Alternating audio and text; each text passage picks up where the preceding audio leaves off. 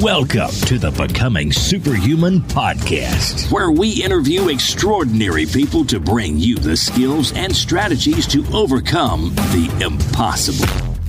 And now, here's your host, Jonathan Levi. Greetings, super friends, and welcome, welcome, welcome to this week's show.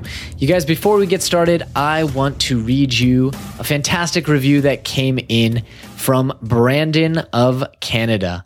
Brandon says, Excellent podcast. The title says it all. If you're looking to increase the overall ability of your mind, this podcast will have many hidden gems for you. Can't wait to listen to them all. Thanks, Jonathan. P.S., and I love this part check out his speed reading course. I have it and it's great. Brandon, you are a legend, and I really, really do appreciate that review.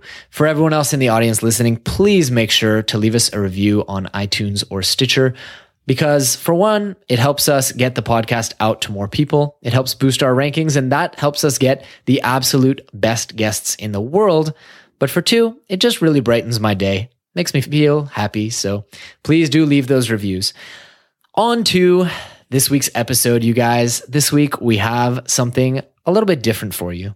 See, my guest today has a ton of impressive credentials. He's met presidents, he's set multiple Guinness World Records, he's spoken at TED six times, he's worked with Robin Williams for years, he's an entrepreneur. You know, so far, it all sounds like just another in a long line of super high caliber superhumans that we have on the show. So, What's different about this guest? Well, my guest today has attained all of this incredible success by building a career around juggling, comedy juggling of all things. Now, I know what you're thinking.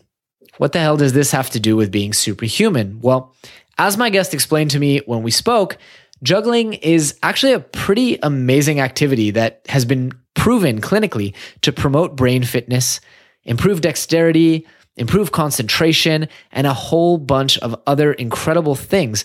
You know, I had no idea that juggling could be such a powerful tool for literally becoming superhuman. And in this episode, we're going to go into a ton of detail about that.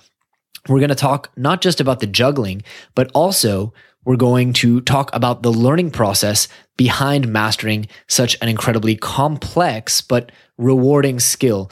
And if you do like the learning component of this episode and you want to hear a uncut exclusive version of the episode, then I do encourage you to check out the Become a Super Learner Masterclass, where we have tons of incredible interviews like this with world champions and other leaders in their field about how they learn and all of that is on top of an eight hour course on learning, memory, and speed reading.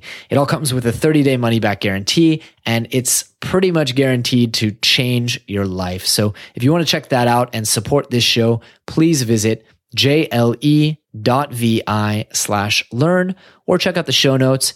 Either way, you'll get a pretty awesome discount. In this episode, you guys, you're going to learn a lot and you're going to be inspired a lot. We don't just talk about juggling, but we actually learn why it's so powerful. We're going to talk about learning. It's going to be great. And for that reason, I just want to get right into it. So please let me introduce to you my new friend, Dan Holzman.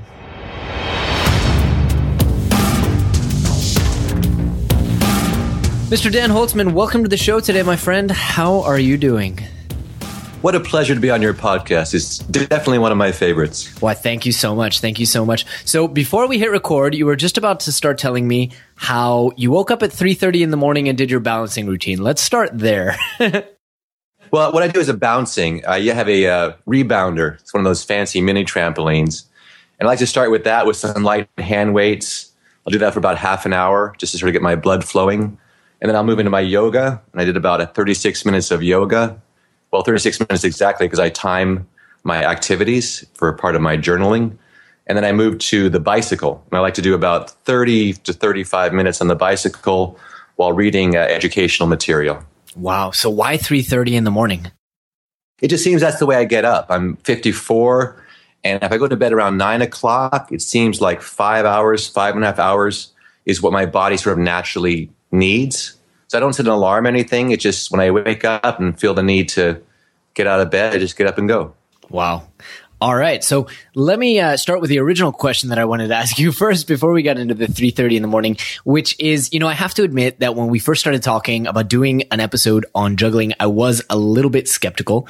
And I think in my mind juggling was kind of a neat hobby and I had a hard time connecting it to this idea of meaningful self-improvement you went ahead and corrected my kind of opinion on that. So right out of the gate, I'd love if you'd share with our audience what you shared with me about how juggling can be an avenue to improve oneself.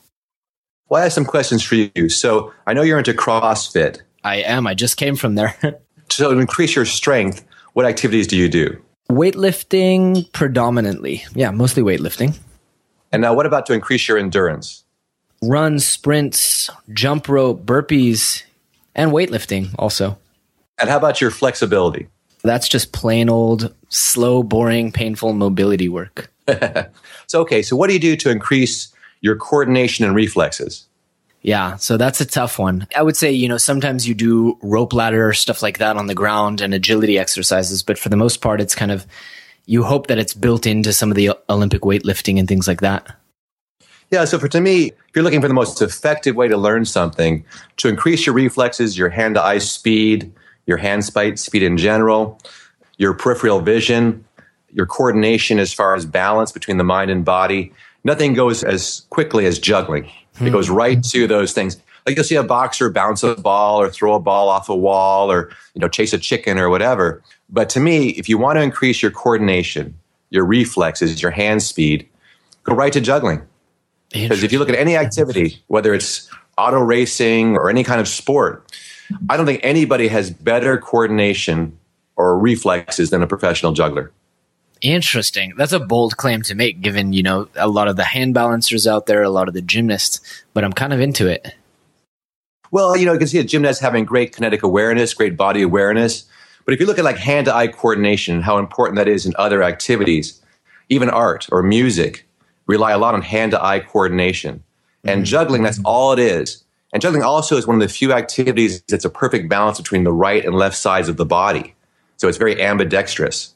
Where a lot of activities, golf, basketball, baseball, you might throw with one hand, catch with one hand, always hit from a certain side. But juggling really relies on perfect coordination between the two sides of the body.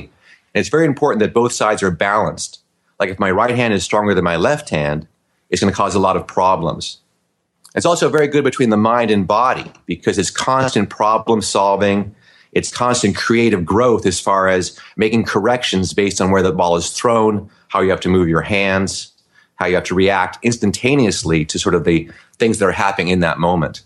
Interesting. So I guess my main question would be what transferability have you seen into other skills? And if so, which skills? I mean, someone learns with you how to juggle what things in their life besides say video games are requiring hand-eye coordination that they can expect to see an improvement if they're training in juggling?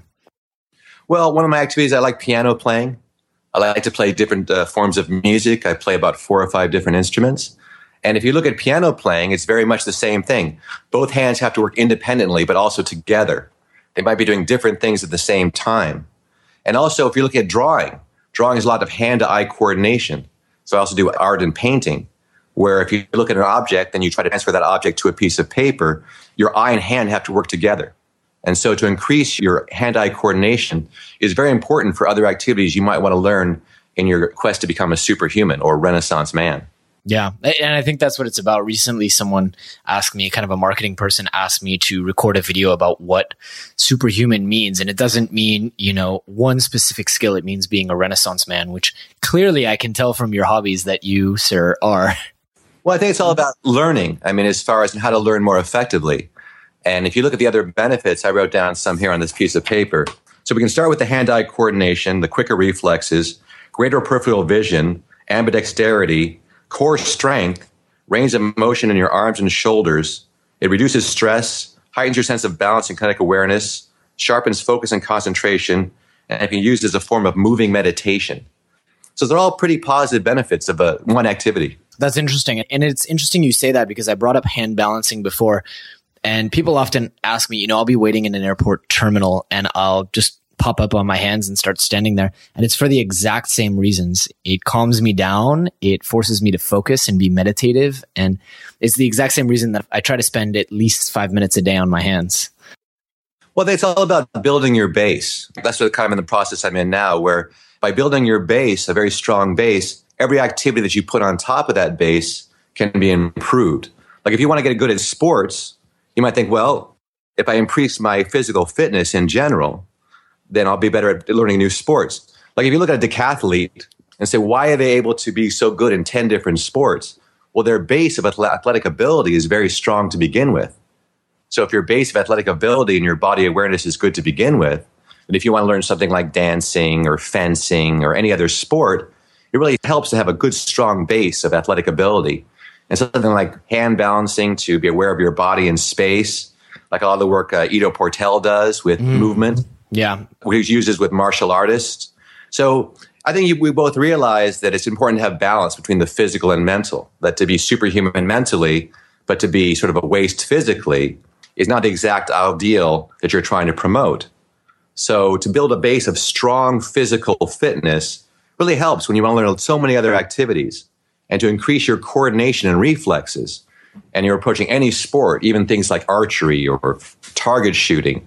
It really helps to have this base. And I think juggling can be a really strong part of a, an activity that can really help you increase your base abilities so you can learn quicker in other activities. It certainly sounds like it.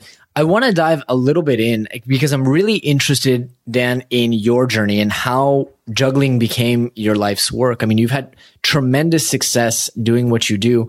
At what point did you decide that this is going to be what you devote your life to? Well, I took up juggling funnily enough because I thought I had poor coordination. So it wasn't like I, like people think, oh, you must be so coordinated. I kind of took it up because I thought I was a bit of a spaz, you know, as a kid. And I was interested in show business, magic, and comedy. And then I saw a book in 1974 called The Juggling Book by Carlo. So I immediately took to it. I had some orange trees in the backyard, and I'd grab some oranges and go in the backyard and learn to juggle. And then it was just became my hobby, became my identity pretty quickly. Like, oh, he's the juggler. But I really didn't think about it uh, professionally because I really didn't even know what a professional juggler did. I just thought it was a fun hobby. And I had all the regular teenage jobs. I left home at 17 and I became a grill cook and worked in a grocery store and a medical center. And then I teamed up with another uh, gentleman. His name is Barry Friedman. And we formed an act called the Raspyni Brothers. And we started working at Renaissance fairs. And then my last day at the medical center, I was making $5 an hour or $25 a day. And we went to this festival and I made $800 on the weekend. and I thought, this is the answer I've been looking for. So I wanted to be in show business, but I didn't think I could make it as an actor, even though I had gone to acting school. And I wanted to be a comedian, but I didn't really feel that stand up comedy was the right fit. So I found this activity where I could blend this hobby that I had, this juggling, with my interest in comedy and show business. And uh, it really became a great fit. And after three years at the Renaissance fairs, where we put in our 10,000 hours, like Malcolm Gladwell would say in Outliers, mm-hmm. we got an opportunity to be on The Tonight Show. And this was actually our first TV show ever. And we were on uh, pretty early. I was 24 years old. And we were seen by Billy Crystal's manager, David Steinberg, who also managed Robin Williams. And we started to become known as a really good opening act for celebrities. And I got to work with dozens of celebrities. And that was such a great learning experience. I learned something from every celebrity I worked with and really was able to apply it to my life and my career. Wow. How cool. Dan, I know you've actually done some work in mnemonics and memory. Tell us a little bit about that. I mean, given my background in accelerated learning and so many of our students are coming from the class in accelerated learning. So tell us a bit about that background. Well, this goes back to sort of the idea I have of building my base. Like I always had wanted to do a lot of things by the time I was 55. And when I was 50, I had this idea to try to become a renaissance man mm-hmm. and learn all these different activities to learn eight different instruments, three different languages, to paint, to tap dance, all these different things I wanted to learn. And every time I would start, I get kind of burnt out. I tried to learn these things through brute force, just oh. through repetition. It's so interesting you say that because I have a methodology that I call brute force learning, but I think it's something different. My brute force learning is attacking it from up to five different angles. And I think that's very important because, like, if you learn uh, instruments, Like I was learning piano, but I was also learning bass, and bass is just the bass clef. Mm-hmm. I was learning, learning recorder, which is just the treble clef. I was learning drums, which is just the rhythm. I was learning the piano that puts it all together, you know, the harmonica. So all these things were interrelated, and interconnected. So I think it's important to have sort of a diverse approach, a diverse attack, which is the same thing with juggling, because juggling is not just one thing. Like I'm pretty good at probably 10 to 15 different props. And they all have the same base of juggling. But if you're doing the cigar boxes or the devil sticks or the plates or the hats or the clubs, they all have their different techniques. So it's important to sort of approach things from different directions. But my idea of brute force is not really having a strategy. Mm. Like you're trying to learn a language, but you really don't know how to remember. You really don't know the most effective way to learn. So you're just trying to do it through repetition, through like just sure. sort of no real idea of how you're supposed to learn effectively. Sure. So this year in January, I thought, okay, I need to build this base. I need to understand more about learning, which is why your podcast became so important. Mm-hmm. And as soon as I discovered it, I'm like, oh, this is the missing piece of my program. I need to learn how to learn. I need to learn how to remember. So through this podcast, my interest in Harry Lorayne and different memory techniques, because I thought, oh, yeah, when I'm trying to learn a language, what strategy am I doing using to sort of remember these foreign words? Mm-hmm. And I really didn't have a strategy. So as soon as I learned that the mind works best in pictures, mm-hmm. like if you want to learn the word like mujer, you know, that uh, this idea of a cow and the woman is combing the hair of the cow. And you can picture in your mind makes it so much more memorable.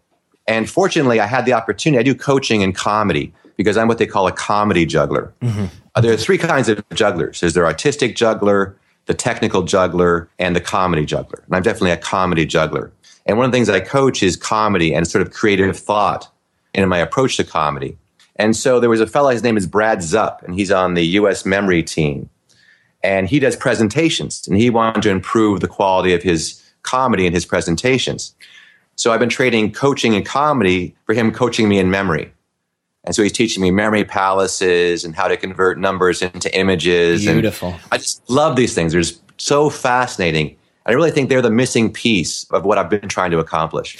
Now, I would actually be surprised if memory techniques bled over into the juggling. Tell me about that. I mean, I could imagine if it's like memorizing a specific I'm going to go right out and say I would be actually surprised if mnemonics helped you with the skill of juggling. It really does, as far as because the, the, skill of juggling is a couple of different things. You can be a hobby juggler where if someone says, Let me see you juggle, and you just kind of run through a couple tricks, in your mind, you're thinking, What should I do next? And what trick comes next? You're just kind of making it up as you go. But a professional juggler will put the juggling into sequences. Aha. Will have a set routine. And if you look at like your memory journeys, where you're sort of doing a traveling type of memory palace, I can do the same thing with my juggling routines because I have certain set tricks that I do one after each other. And I might have 40 or 50 in a row. Oh, wow. That I am very aware of and very have well memorized. And as long as they're sort of different enough, I can use them as part of my memory journeys. So they're very useful uh, as far as uh, vehicles towards memorization. So there's sort of a cross pollination between the juggling and the memory. That's so fascinating. So, how did you do it before you knew about the memory palace technique?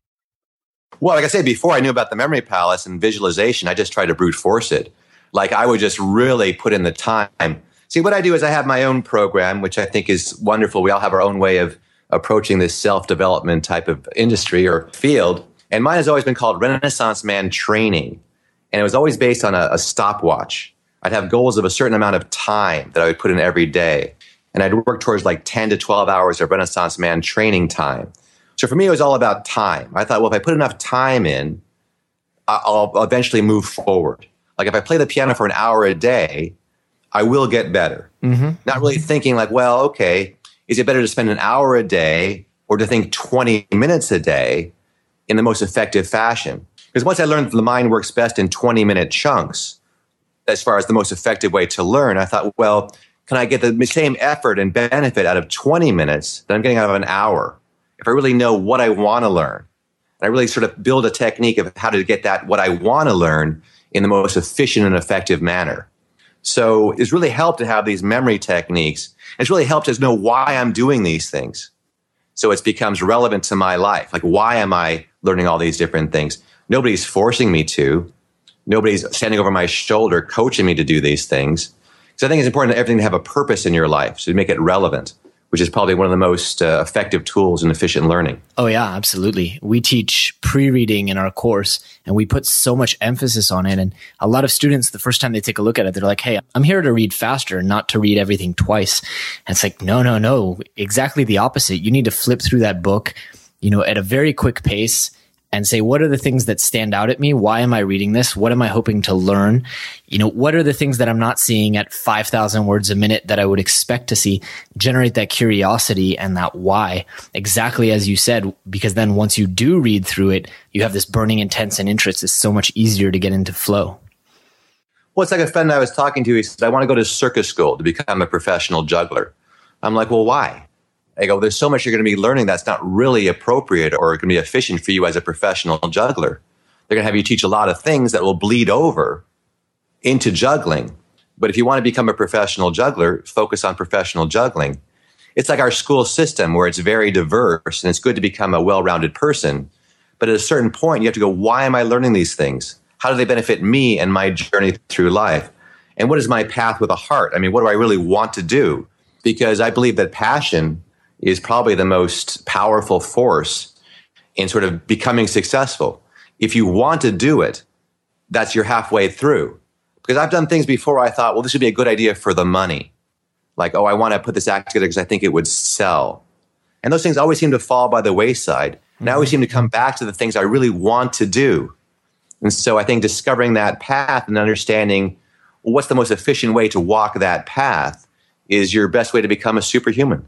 Absolutely. And you just touched on a quote that has been guiding me for the last six months, which is anytime you catch yourself saying, yeah, but the money's really good, question that.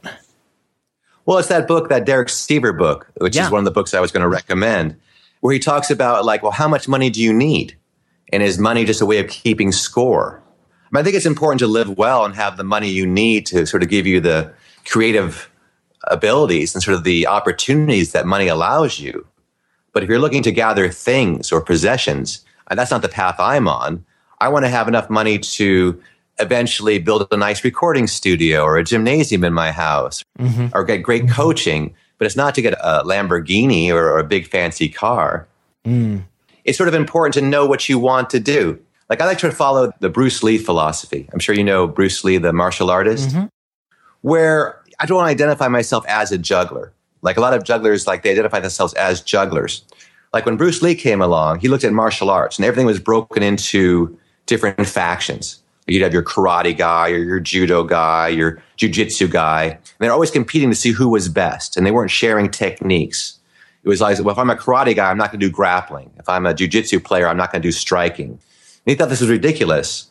So I'm going to create the Jeet Kune Do, which right. translates the way of no way or anything that's useful to me on my journey, I will incorporate.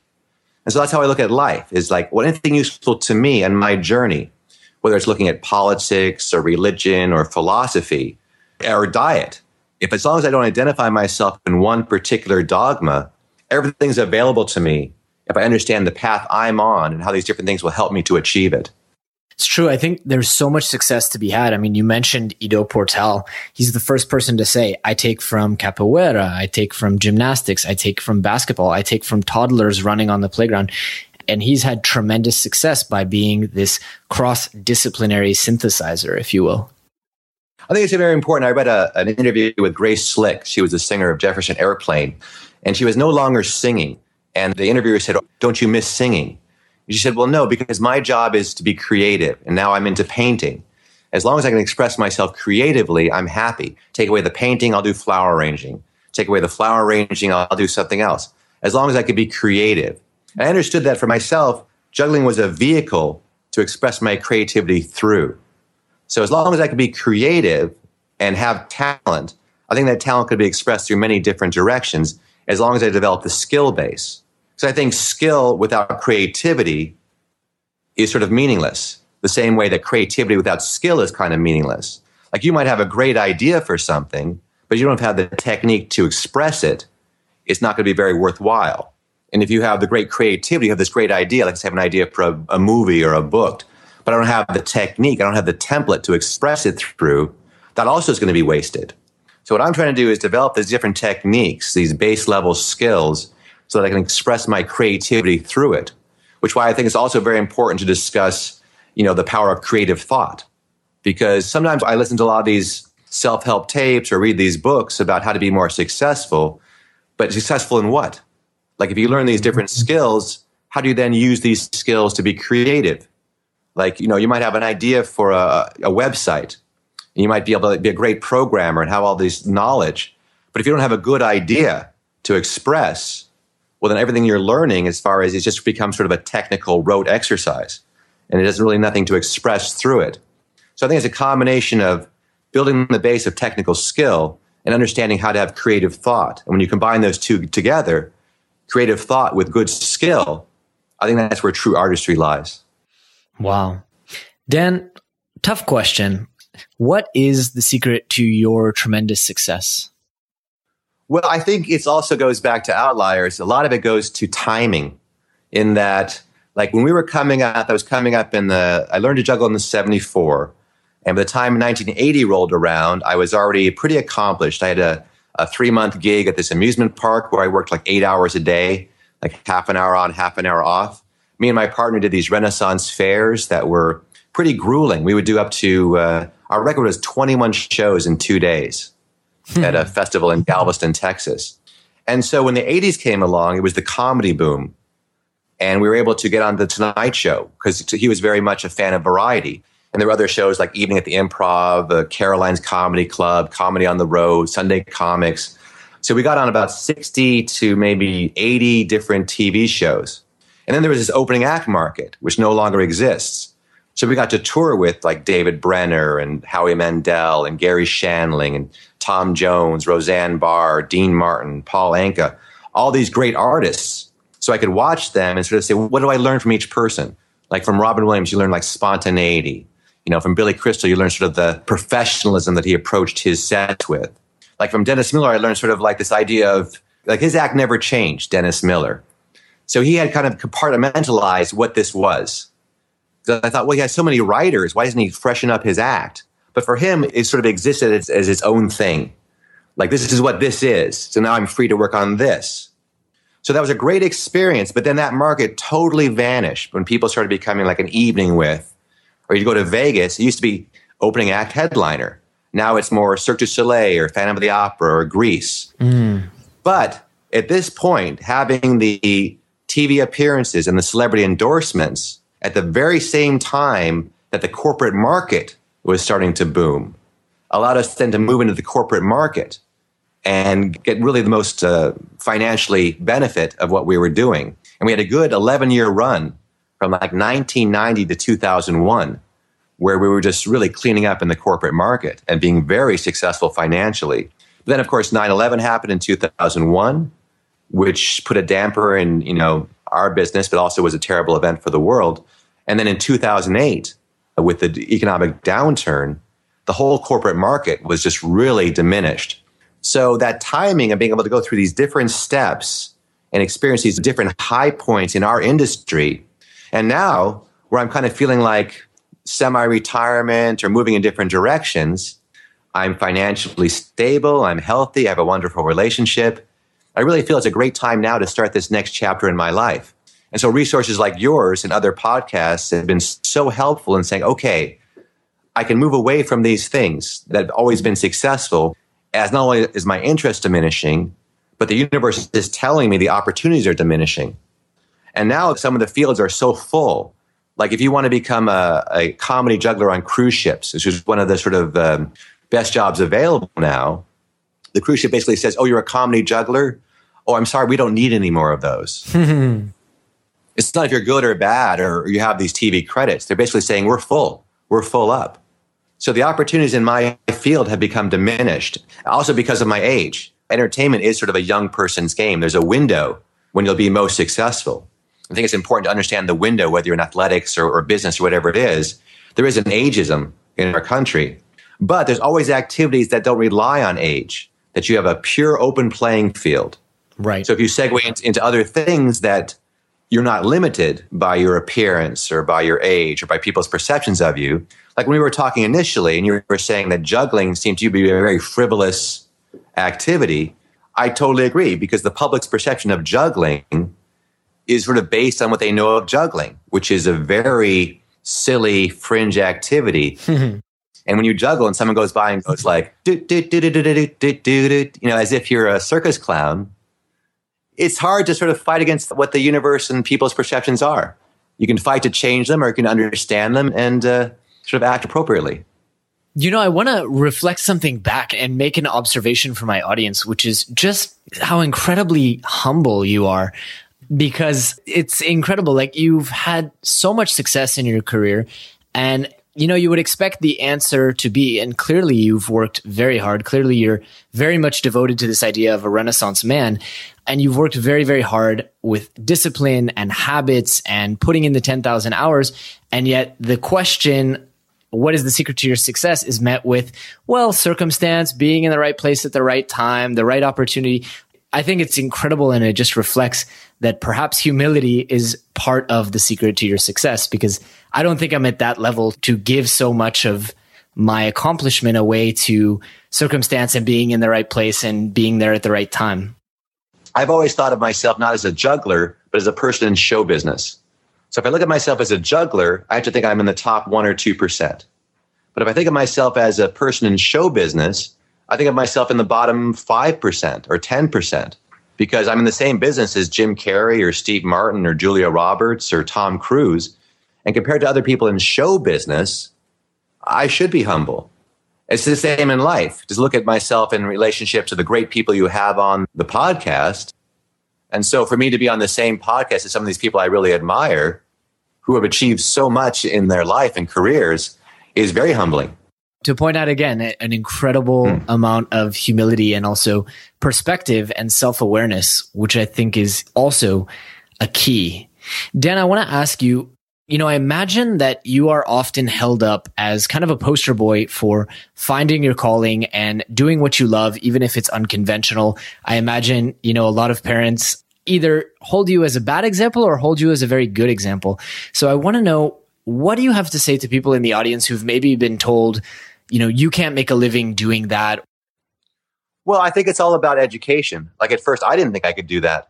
But if you look at the world and say, well, okay, I need three things like education and then strategy and then application. Where first I educated myself, like, well, what is a professional juggler? Where do they work?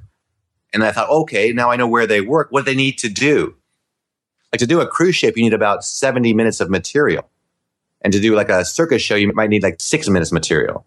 To do a comedy club, you need this. To do this kind of job, you need this. And then wh- who do I approach? What do they need? Well, they need a promotional package. You need to have a videotape. All right. Once I have those things together, then I need to apply these knowledge and send my stuff in, go after these jobs, make the people aware of me. So once I educated myself to what a professional juggler was, and then developed a strategy of how I could fulfill those jobs, then apply it by then sending them the materials they needed to know I was capable of doing these jobs. But at first, I had no idea what a professional juggler was. I remember the first time I saw a professional juggler on TV, there was a show called The Merv Griffin Show back in the 70s. And the, the TV guide came out, and they had Kris Kremo, juggler. And so I circled it. It was on a Thursday, and this was on Monday when I saw it. And I thought I was a good juggler because I was the only juggler I really had seen. And when I saw him, my mind was blown. I'm like, oh my God, that's what a professional juggler does. I'll never be able to do that. Never. Wow. Because his class, his precision, his style was impeccable. And he looked great. And here I was, this kid, you know, bad skin, sort of a big, you know, afro, and not really the show business type, even though I thought I was clever and creatively intelligent. But I didn't really feel like I had the tools necessary to be successful in show business. I thought I'd be a writer or someone behind the scenes. And then uh, this juggler, Michael Davis, came out, and the Karamazov brothers, who were comedy jugglers, who combined the juggling with comedy. And when I saw that, I thought, oh my God, that's the perfect fit for me. Because I always loved comedy Woody Allen and Robert Klein and Cheech and Chong. And I always liked writing comedy. And I always loved juggling, but I didn't think I could be this slick Vegas style pro. Because at the time, that's what I saw. Like I went to Vegas when I was 18, and there were seven or eight jugglers working up and down the strip but they were all these what they call flash jugglers, you know, working very fast to music, very high technique. And I didn't think I could do that. But then I realized, okay, it's not the technique, it's how creatively you can apply the technique. Like, don't try to make it more impressive or more entertaining by increasing the difficulty. Increase the cleverness. Because I thought I can't out juggle these people. I can't outlook these people. I can't out young these people. I can out clever these people. So that's what I've tried to do. That's one of the secrets of my success. I'm going to try to out clever you. So I'm going to take the same techniques and be more clever. Like I'll see a trick, and if everybody's doing it the same way, I'll ask, why are they doing it that way? How can I improve this trick without improving the difficulty? Like there's a trick where you'll take a, a ball and you'll spin it on your finger. And then maybe you'll put that on a volunteer's finger or a stick they're holding. I'm like, why is it always a ball? So I developed these clear bowls. Like they look like they're glass, but they're plastic. So I spin the bowl on my finger. Then I put balls inside the bowl. So you can see the balls moving inside the bowl. And I'll put three of those on a volunteer. And it's actually easier than the balls, but it looks harder and it's more clever and it has more, more inherent danger, more inherent interest because they feel like, and they can, if one of these hits the ground, it can break. But I don't increase the difficulty. I increase the entertainment value. I increase the inherent interest. Like for me, balancing a stick on my forehead is no more difficult than balancing three golf clubs. Like I have a trick where I balance a golf club, there's a ball on top of the golf club, then there's a club on top of that ball. Then I'll reach up with a putter and spin that club that's resting on top of the ball. Now, there's wow. a bit of a gimmick to it, so it's no more difficult than balancing a stick on my head. We're going to need a YouTube video for the blog post on that one. I got to see that. Sure, it's all on my uh, website, you know, danholzman.com. You can, and my YouTube channel, Dan Holzman Comedy Juggler, you can see me in action. Awesome. And I'm going to find that video for sure. Yeah, because for me, I'm always looking for one thing. It's sort of like, I'm always trying to increase the comic potential or the inherent interest. So those are my two big things. I'm trying to increase the comic potential or the inherent interest. Like when I teach about comedy, I'm like, well, if you start with a routine that's more inherently funny, it's easier to write funny jokes for. Mm. Or if to start with something that's more inherently interesting, it's easier to put a routine together. If David Copperfield is going to make the Statue of Liberty disappear, he can build an entire special around that. If you're going to make a car disappear, I'm like, well, you know, there's not that much inherent interest. Like if you're a juggler and I say like, okay, let's say you have a skill like you can do a three ball cascade, which is the easiest of all juggling patterns. It's just the most basic pattern.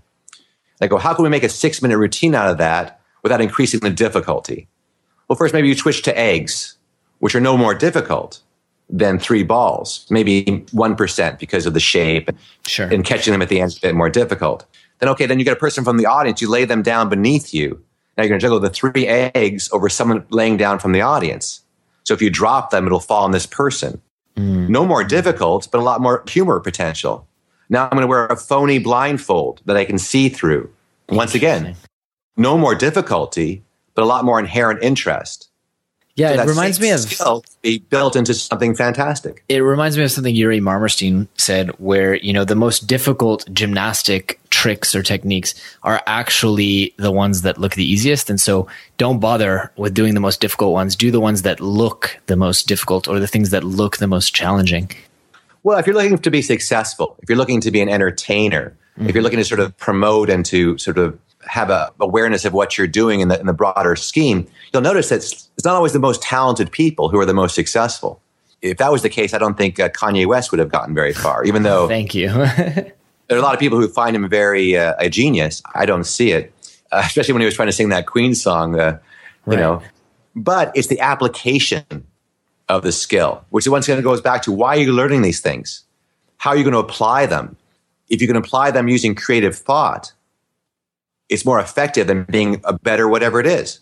If you have better ideas, because I think mm-hmm. ideas are what are important. The ideas are what give you sort of the power of a god. To have a great idea, then to bring it into reality, to be able to create something from nothing, is true power.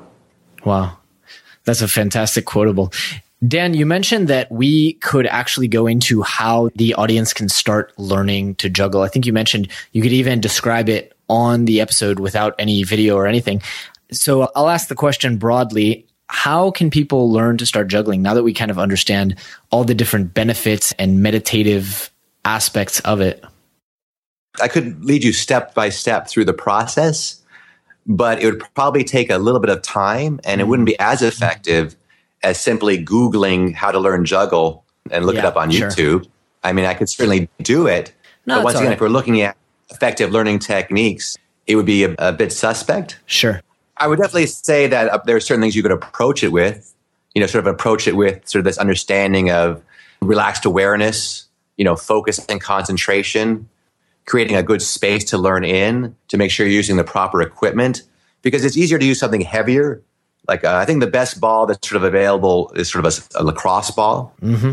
Like professional jugglers will use either a professional juggling bean bag or a silicon ball. But like a silicon juggling ball would cost about thirty dollars. So don't try to learn with something light, like a tennis ball or rolled up socks. Learn with something with a bit of heft and about the size of a baseball. And start with the three ball cascade.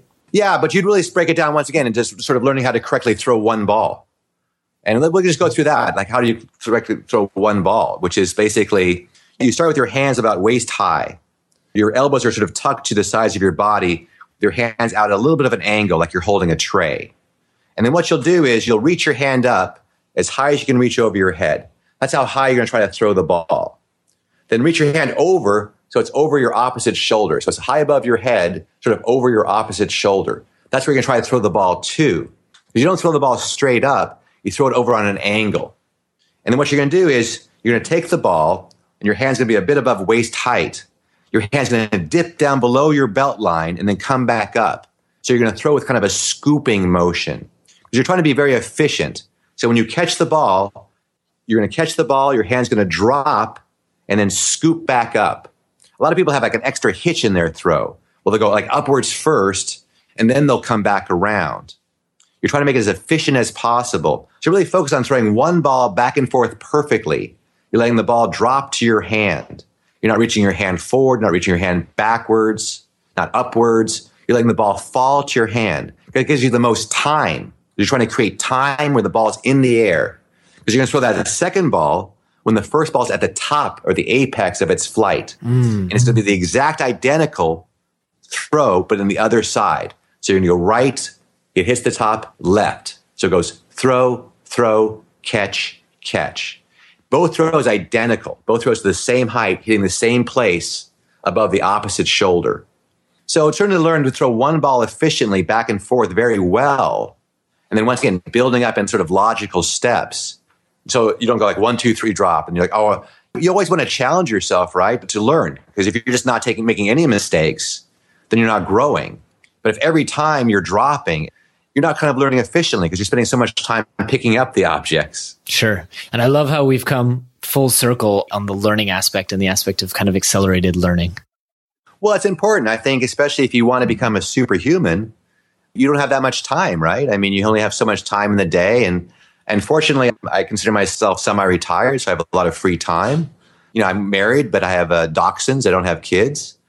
So I have a lot of time. A lot of people I know spend time with their kids. So if you only have 20 minutes a day for self improvement, then try to be as most efficient as possible. And that's why juggling comes back in. If you really want to improve your sports performance, or you want to improve your focus, you want to improve your visualization skills, you want to become smarter, because juggling has been scientifically proven to build gray matter, to build white matter, to actually increase the size of your brain. Well, juggle for five minutes a day, or juggle before you're going to do a presentation. Or if you're feeling stress, you know, don't go and have a cigarette. You know, have a juggling break. You want to clear your mind between activities. You're working on a paper or you're studying very intently. Well, the brain can only absorb so much. So you need a break. You could stretch, you do some deep breathing, five minutes of juggling, reset your mind, boom, you're back ready to go. That is a fantastic takeaway point for the audience. Dan, I want to make sure that we have enough time for you to tell the audience how they can reach out to you. I know you have a podcast, you have a YouTube channel. What are all the different properties that you have? And feel free to, you know, let our audience know where they can reach you. Well, I have a couple of different resources available. I do do a podcast of my own. It's called Drop Everything. It's on iTunes, and it's mostly for jugglers. If you're interested in juggling and you want to hear uh, the tales of professional jugglers, that's a great podcast for you. It also, I think, I always like to read about different people and different types of activities. I'll read books about professional wrestlers or race car drivers or entrepreneurs. So there are definitely lessons you can learn from anybody who's successful at anything. But that's sponsored by the International Juggling Association, and it's very juggling oriented. Ah, okay. I have a personal website. It's uh, braindrizzles.com. and that's where I teach coaching and performance at braindrizzles.com. So I teach many different kinds of variety performers, but anybody who makes presentations, if you're a speaker of any sort and you're trying to increase the comedy awareness and understand how to add more comedy to your presentations, that's a very good resource. If you're looking to hire me for my comedy juggling performances, my website's danholzman.com. That's D A N H O L Z M A N dot com. And if you just want to see examples of my work, you can go to uh, Dan Holzman Comedy Juggler or look up my partner and I's website, which is Raspyni Brothers, R A S P Y N I Brothers. And if you've ever been to a TED conference, you might be aware of us from the TED conferences because we performed at uh, six of them. So for all you TED attendees, yes, I am Dan Raspyni, and maybe you've seen me on stage at TED. Fantastic. Dan, I want to close on one question, which is if people take away one life lesson from this podcast, what would you like that to be? Well, I think sort of the power of the subconscious mind. I think that's the, one of the most important things people can realize. That for me, as a comedian and as a juggler, a performer, I'm always searching the world for comedy potential or interesting ideas I can use in my act. My radar is always open to that because I'm using the power of my subconscious mind to sort of always be open to see, oh, this is funny, or I see something interesting here, or oh, I could use that as part of my act. So I think this idea, whatever you want to do, sort of engage the subconscious mind. Like if you want to be a successful entrepreneur, well, then part of your mind should always be looking for these ideas that will help you be successful. Mm-hmm. So there's a great book to recommend. It's The Power of Your Subconscious Mind by Joseph Murphy. When I read that, it really helped me and I think it brought a lot of things into my life that I knew I was looking for, from my relationship and now to the current job that I'll be starting in June, which for me is like the perfect juggling job. I think I was able to manifest those, not in some secret way or some kind of sort of metaphysical way, but just being aware of the opportunities that life was presenting me. And so be aware of the opportunities that life presents you. Have your mind open to them and then follow the path that gives you the most pleasure. Follow the path that has heart. That is a beautiful, beautiful quote to end on. Mr. Dan Holzman, it's been such a pleasure chatting with you, and thank you so much for sharing some of your time and wisdom with us. My pleasure. And thank you so much for this podcast. I think it's a great resource. Thank you so much.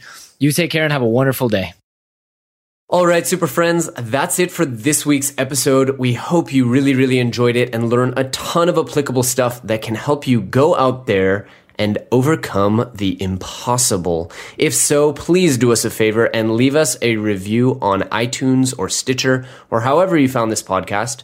In addition to that, we are always looking for great guest posts on the blog or awesome guests right here on the podcast. So if you know somebody or you are somebody or you have thought of somebody who would be a great fit for the show or for our blog, please reach out to us either on Twitter or by email. Our email is info at becomingasuperhuman.com. Thanks so much. Thanks for tuning in to the Becoming Superhuman podcast. For more great skills and strategies, or for links to any of the resources mentioned in this episode, visit www.becomingasuperhuman.com slash podcast. We'll see you next time.